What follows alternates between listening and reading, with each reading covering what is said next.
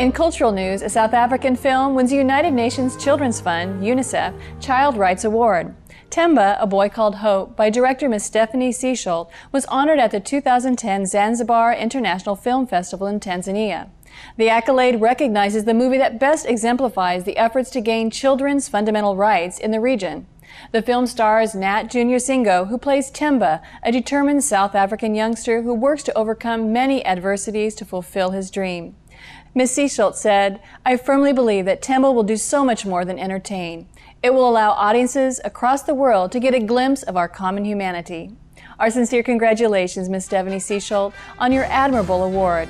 May more films as yours raise awareness about the importance of all youths having opportunities for loving, happy, and fulfilling lives.